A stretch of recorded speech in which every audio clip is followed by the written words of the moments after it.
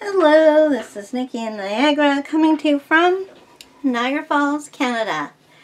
And today we continue with my coloring book collection and purge.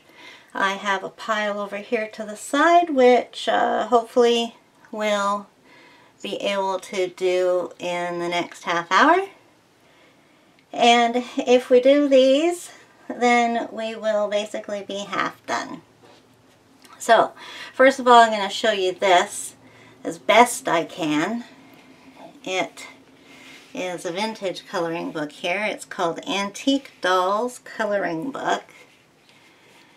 Six charming scenes of beautiful antique dolls for all ages by Red Farm Studio. And each illustration is signed Montero. So if that means anything to anybody.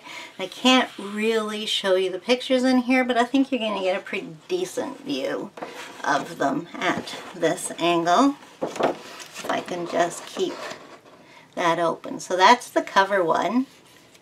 These are gorgeous, and I just don't know when uh, and what I'll, well, the thing is what will I do with them once I've colored them going to do these in alcohol markers on a nice card.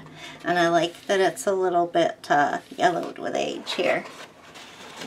Then we have the same doll on a hobby horse with a rather creepy clown here. I pretty much think all clowns, clowns are creepy.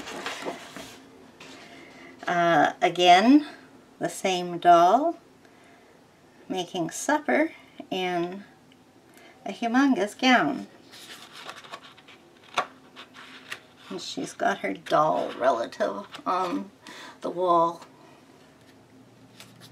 My sister picked this up for me at a garage sale.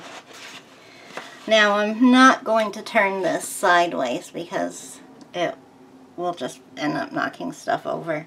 But uh, we have our doll, which I believe is this one, and her doll friend.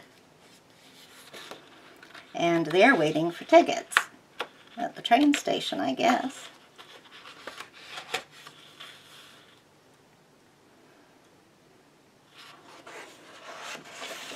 And here they are at story time. I love this one. I like books. It just is appropriate to me. I've just noticed that the pages are perforated too.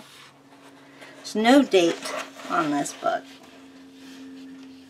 And since they're antique dolls, it could have been made anytime. I'm assuming this is from the 70s, possibly the 80s. And the final one has Mama Doll with the baby, and I think this is our main character. And I think that was the relative on the wall, so that could be Auntie. So mom and baby, sister and auntie. That is the family I've created here. And there we go. Then the back is just a piece of brown cardboard. Oh, it's not brown on this side.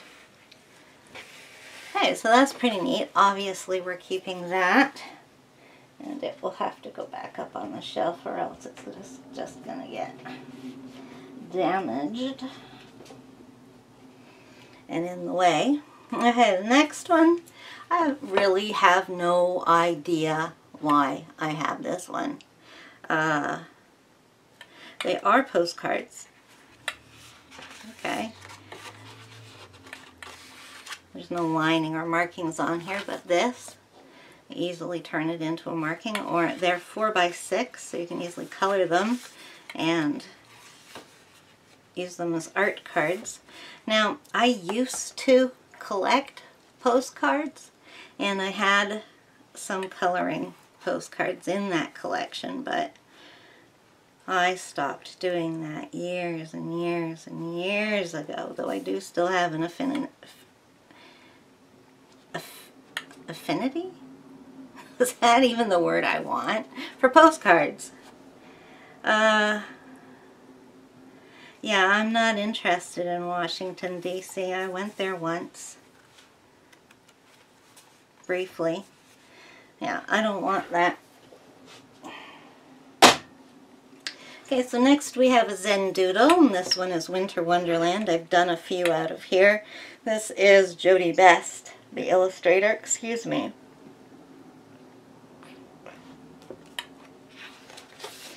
And these are a lot of Christmas, actually, pages, but also plenty, like there's Christmas ornaments, but there's plenty, like a bird in a tree, that are just winter themed. Snowman looking in at the fire. That's cute. I like that. So yeah, this is a good one. And um, I forgot to say this, but uh, if you want a complete flip through of anything on here, just uh, let me know and I'll be happy to do one for you. Especially if it's a book that's not already, doesn't already have a decent flip on Amazon. Okay, so this is um, the same as the passive aggressive coloring book. This is the hipster coloring book by Charlotte Farmer. And again, it's a cover that you can color yourself. And uh, again, I got this so that I could color the images and cut them out and stick my, and glue them into my into my uh, oh, junk journal. There we go. So yeah, but if you think it's fun to make fun of the hipster life, then you'll find this book funny. So yes, definitely keeping that. Then I have Cicely Mary Barker's Flower Fairies postcard book, and this is not even a coloring book. I just had it here because it was the only other po it's the only other postcard book I have, I think, at the moment. No, I don't. I have other ones. So yeah, I don't even know why this is here. But I, I like the flower fairies. I grew up on them as a child. And my mom grew up on them as a child. So yeah, this doesn't even belong here. And of course I'm keeping it and I'm going to put it somewhere where it uh, belongs. But we'll just put it here for now. Because I am going to be sorting the, the books out and putting them on my shelves in some kind of order. Now, like that Washington book, I have three more of these. And I don't think I really want these either. They all have gold foiling on it. What was the... Did the DC one have gold foil on it?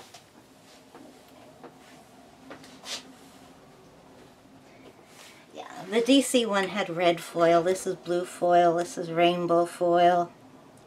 And this is rose gold. So, I've never been to any of these places. Don't imagine I ever will. I'm not collecting coloring book postcards and the pictures don't interest me so yes those are going in the I don't want pile. Okay so this is another book in the set from Pat Leisure Enchanting Motifs that we got that we got rid of. It's stock images and it's nothing that uh, interests me. Oh, why do I have a page marked? Oh yes, I was thinking of doing the uh, mushrooms for March, but I don't want to color in this book just to do that. So I didn't keep the other two. I'm not keeping this. I may actually have the fourth book in the series. I'm not sure. Okay, now this next one I love. I love this one.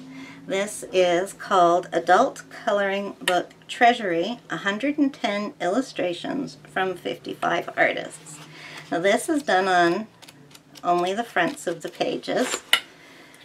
And is this a Create Space? Yes, it is.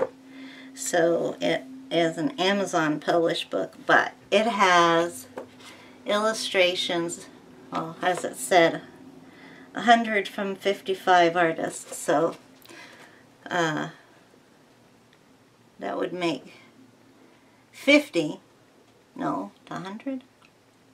45 of them did two. I think that's how the math goes. Someone's already pointed out that I can't do math on camera, so yeah, I, I can do math, but uh, obviously not on camera, so let's hope that was right. I forgot what I said and I'm not going to calculate it again.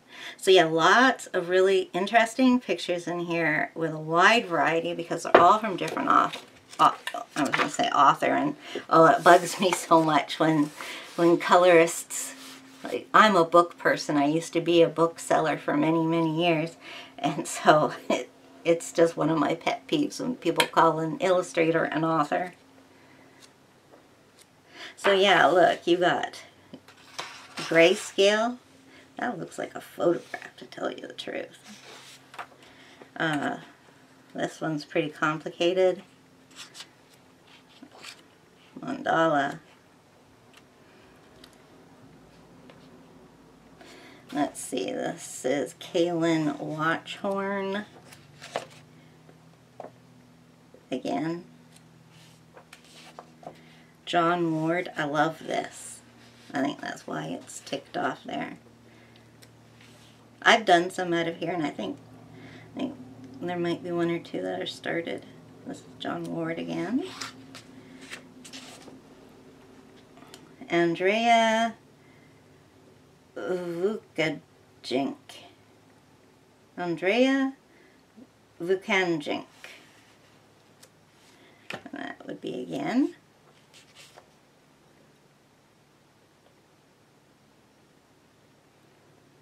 Mm, this doesn't give an author, it just says it's from the Doodlecraft adult coloring book. That must be what the extra ones are. That's the same. This is by Tiger Lynx. Tiger Lynx. Terry Sherman. That's nice. Terry Sherman. So yeah. Uh, oh yeah. Oh my god, did I do that? I must have been drunk or half asleep. I did do it though, because that's the kind of uh, that's kind of patterns I like. Yeah, well, we'll just close up on that. so that's going in my keep pile. Now, not sure about this one. I got this from the dollar store, and I don't think it's a real book. I think it's just, well, I mean, it's a real book, but I think it was just published for the dollar store market. It is called, sorry, Color Therapy, the Anti-Stress Coloring Book, Coloring for Peace and Relaxation. 32 amazing designs. Okay, so no information. I like that. I think that's the same picture that was in the other one that I liked. So these are stock photos, and it's the bindings coming apart. Yeah, it doesn't even say they're stock photos. So, yeah, it's all that kind of thing. Though, that girl was pretty. That looks like somebody's art. I think I've seen that picture before somewhere. Okay, so we'll just call that not interested. Okay, so now I have a postcard book that I am going to keep because it is Tomislav Tomic's New York from Pictura, the Pictura line.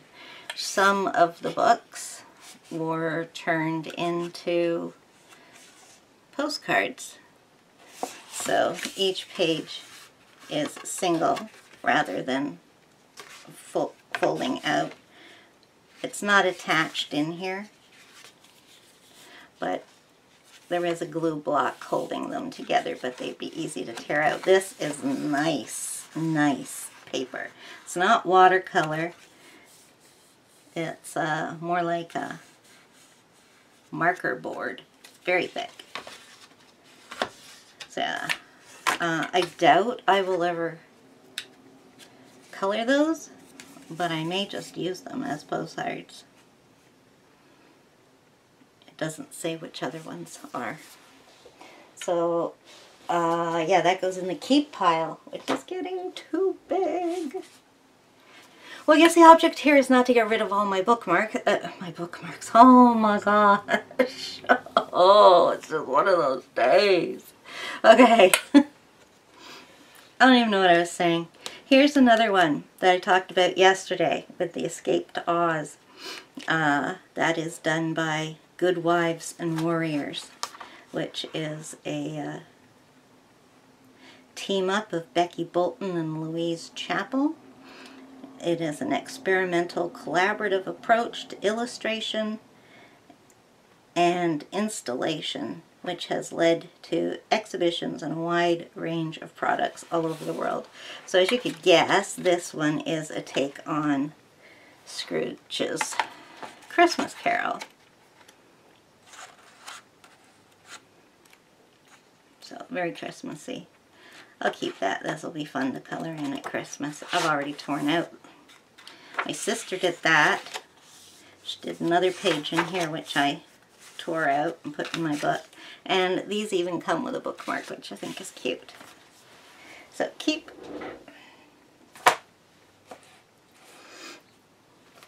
Okay, so I am a DC Comics girl.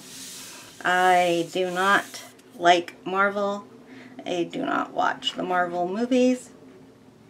That said, I don't even watch the DC movies because they're not canon to the comic books. They have absolutely nothing to do with the comic books. Yes, sometimes after a movie they will write comic books to deal with the movie, but they're not part of the normal story, and that's what I'm very serious about my comics, okay? So don't, don't mess with me. I was going to say that said, but I already did. So I was wondering whether I was going to keep this, but uh, uh, there's a lot of really cool Wonder Woman stuff in here, and uh, these old covers will be fun to do. Is this just a Wonder Woman book? Superhero coloring, creative fun for superhero fans. Superhero coloring. On the back, it's all pictures of Wonder, Wonder Woman, though. With awesome action pages, heroic rescue, scenes, and pictures that really pack a punch, the ultimate DC superheroes are waiting to be brought to life with color. Woohoo! We've got Supergirl, Superwoman, and uh, I want to say Catwoman there, but she's not a she's not a um, super family villain. She, she belongs in the Batman verse. Well, yeah, well there she is with Robin. Hey, they're all Wonder Woman posters. Whoa, there's there's Batman and Catwoman. Woohoo, baby! I love that. Oh yeah, we got a really mod Wonder Woman there. Oh yeah, so the book features Wonder Woman, even though it doesn't say it does. I will definitely keep that. Okay, so we have another Zen Doodle book, and this one is Majestic Dragons, and it's illustrated by Antonia Cardella.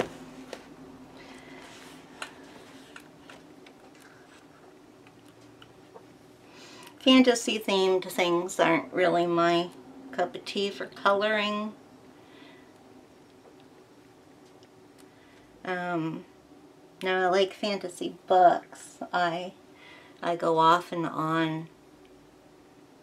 Like there was one point in time when I read nothing but fantasy with some sci-fi thrown in. And then I got to a point where all, all I did was read, yeah, fantasy books. And that lasted quite a few years. Now all I read are thrillers and true crime. I don't know. Some of these look like mazes.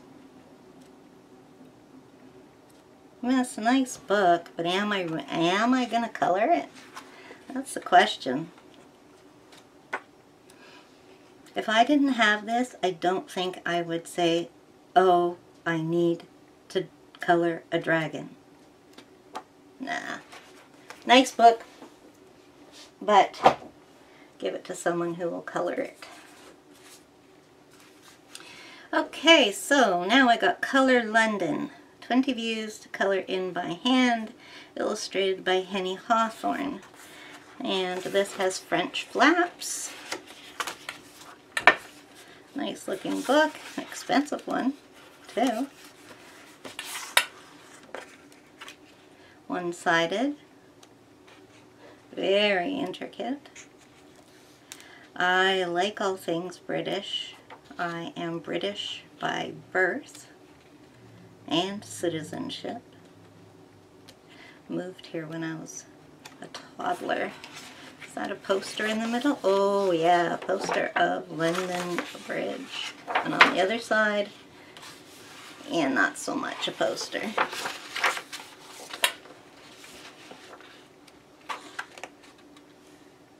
Perforated. Hmm. So intricate. I like coloring buildings though. Archaeology is one of them. Archaeology, okay. Yes, I'm interested in archaeology, but architecture is what I meant to say. And I'm interested in architecture. Hmm. I, I wish I could hear what you guys were saying. Are y'all going, keep it, keep it? Or are you going, give it to me, give it to me? I'm going to keep it. Next time I go through my books, if I haven't colored in it, that's when I will not keep it. Okay, so we have more in the Just Add Color one. This is Mid-Century Modern. And I was using this one as a practice book, so I've got some of the beginning pages in here that have been done. Couple. That was my first ever attempt with uh, alcohol markers. That was back in uh, 2017, it says. And I was trying out stuff I got in a subscription box on that one, and this was trying out the, the uh, Posca glitter pens. They're nice. So yeah, definitely keeping that. And this one is by Jen Ski. She did another one of the, she did another one of the uh, mid-century modern style. So yeah, that's a, that's a series that I am going to continue collecting. I'm going to have to look and see what I don't have. This is the Tokidoki coloring book. Seriously, I don't even know who or what Tokidoki is, but I think it is so cute that, I mean, with all the things I'm interested in, I like kawaii too, very much. I just saw something jump across my table. No, unless it continued on its way.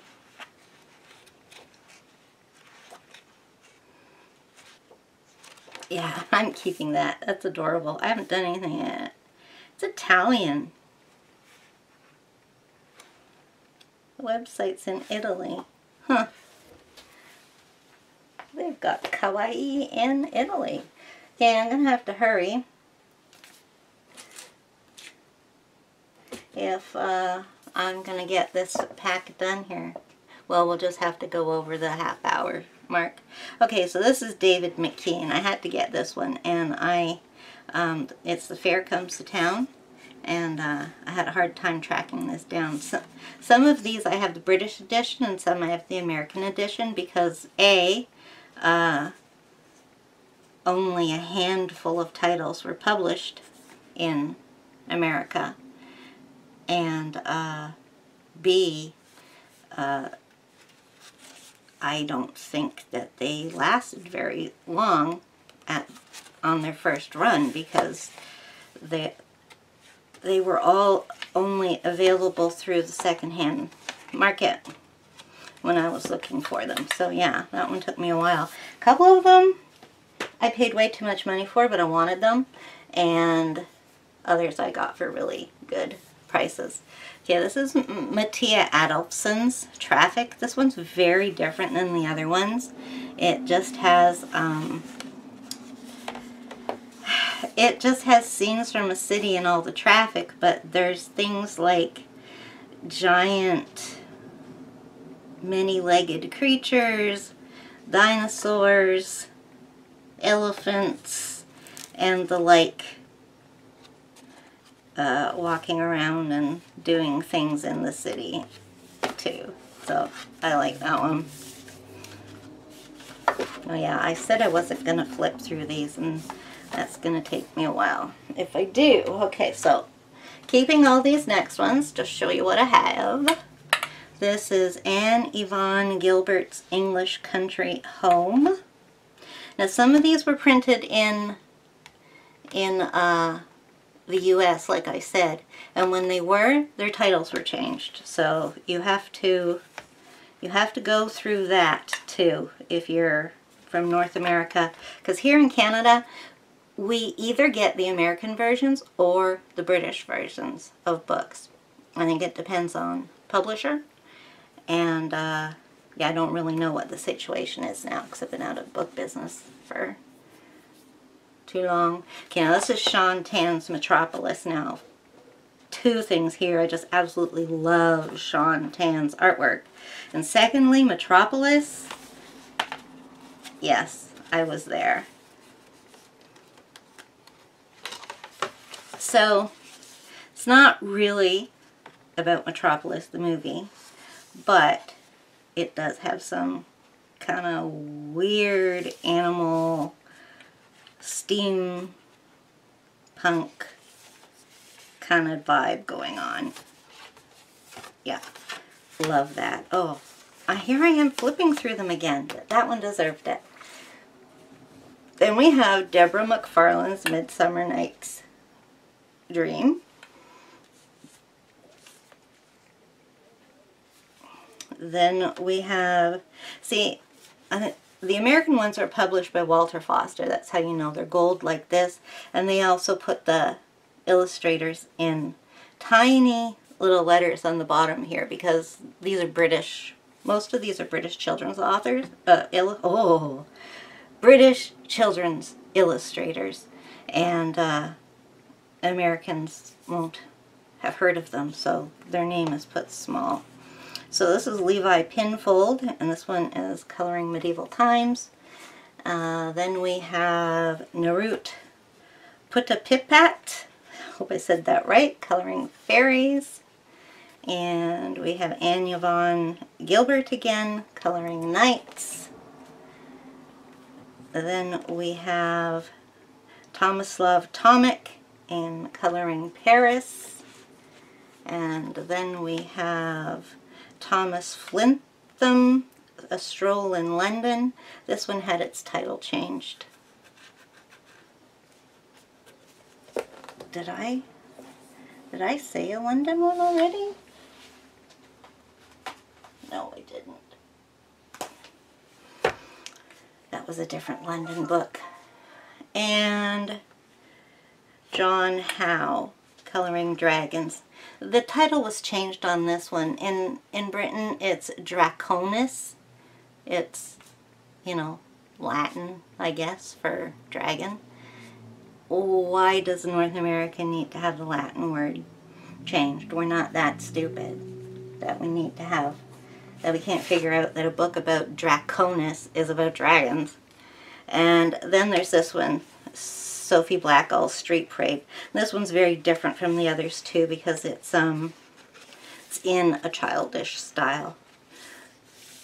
This one could be colored by a could be colored by a child. It's much more simple. And the backs of these um, do have illustrations on them here and there, but they're, well, it looks like this one has um, drawing activity. It's not stuff that you're, you know, going to be worried about covering up if you use alcohol markers.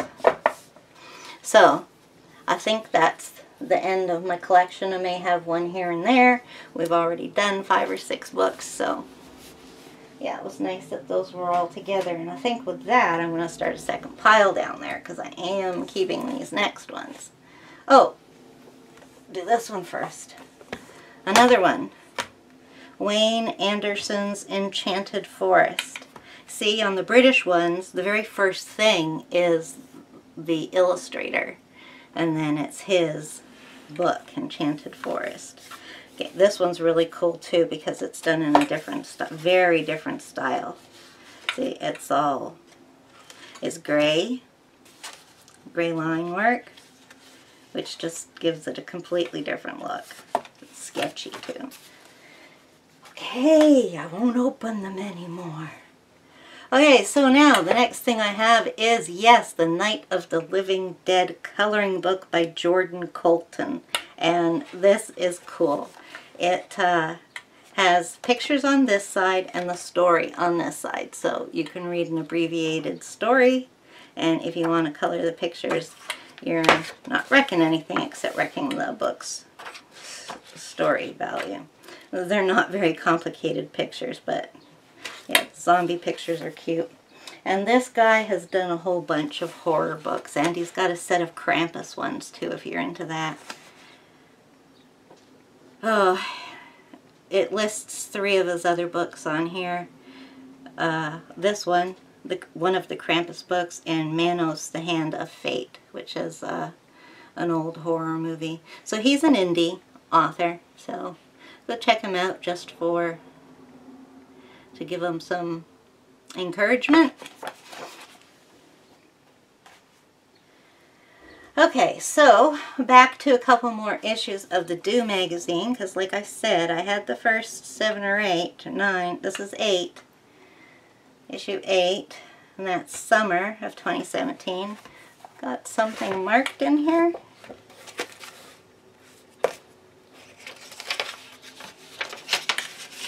Fold it up. Hmm. I like that page. I don't know what I was doing with it. Oh well. And then I have another one. This is issue 6, winter 2016. Okay. So I've already stated I'm keeping the magazines. Okay, so now I have a Renoir coloring book, and this is from Somewhere Fancy. Oh, it's Pomegranate Kids, the Barnes Foundation. It's a really nice wraps on it. Okay, so the front and the back have small little prints of the work that's in here so that you can color them the same if you want. And the pictures are very simple. They've been brought down to the basic uh, line art. I suppose the book is aimed at children, but when you have a basic thing like this, it's good for watercoloring. Gives you more opportunity to do your own thing with it. See, I haven't done anything in this one. Don't even know if I would. Not a big fan of Renoir. Just people and flowers.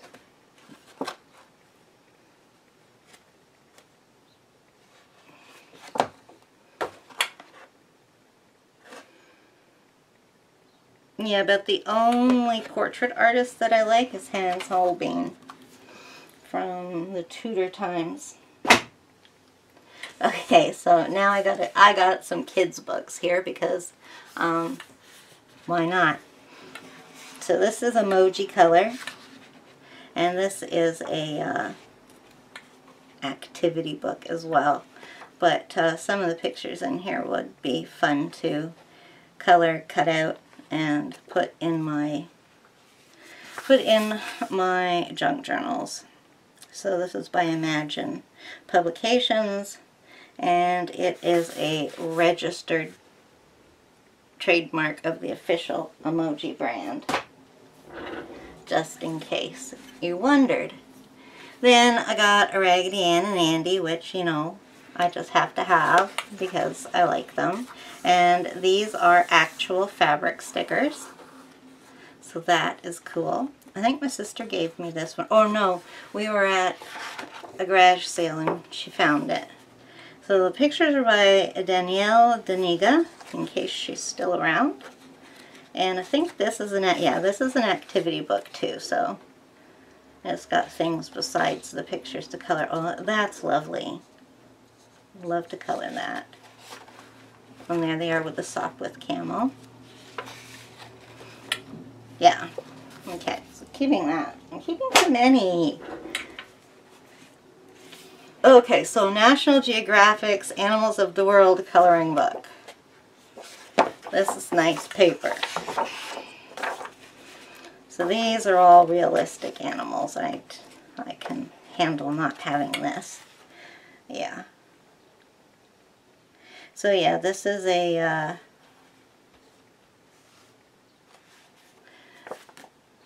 this was it it's an official National Geographic book. Okay, then I have several of these books by Fabiana Attanasio. Just like everybody else. Done a few pictures in them here and there. The uh, covers, I don't know, that is, that is like, you know, so big I don't think it's considered a French flap, but just for the sake of easiness, we'll say it has French flaps. All my posters are still in here. But you know what I was thinking the other day? Is I think I'm going to take one of these posters out of one of these books that, I, that has posters in it. And I'm going to put it up on the wall in my bathroom on the on the main floor of the house. It's it's just a half bath. There's no no tub in there or shower. And uh, I'll put it on the wall and um, I'll put a container of some pencil crayons and then anybody who goes in there can uh, color a bit when we have company or a party or not that that happens very often but it has happened. Uh, people can color on it. I just think that would be cool to see who colored on it. So I guess since I have plans for the poster that I'm keeping but yeah I like these. I usually don't like the storybooks. I don't know if I have a Joanna Bats, whatever her name is. I think I may have one of hers but she she's just not my style. This is you know a lot like it but I like the classics